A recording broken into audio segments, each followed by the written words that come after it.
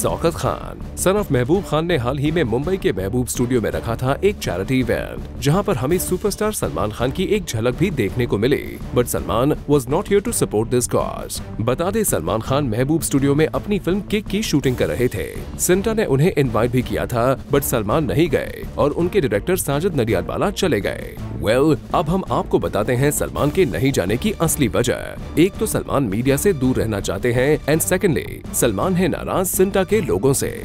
इस नाराज़गी का कारण है वर्कर्स की स्ट्राइक कुछ दिन पहले एकता कपूर के शो पर हुई लड़ाई के चलते वर्कर्स ने स्ट्राइक की थी और उसी दौरान सलमान की शूटिंग भी महबूब स्टूडियो में चल रही थी।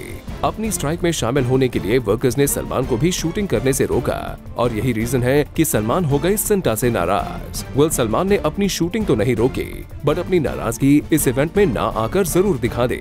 सोर्सेज की माने तो स्ट्राइक में सिंटा को कोई सपोर्ट नहीं था। बट सलमान को ये कौन समझाए? चलिए सलमान वी होप आपकी ये नाराज़गी जल्द ही खत्म हो जाए। और चेतना सिंह जूम मुंबई